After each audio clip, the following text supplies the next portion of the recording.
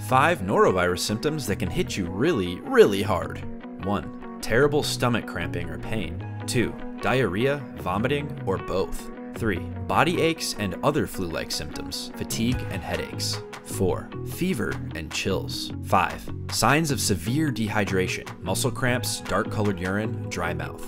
Trust us, you don't want to deal with this gastrointestinal virus. If your symptoms don't settle down after 48 hours, seek medical care. Call your primary care doctor or visit an urgent care center. And remember to wash your hands often and very thoroughly. Like this video for more health tips.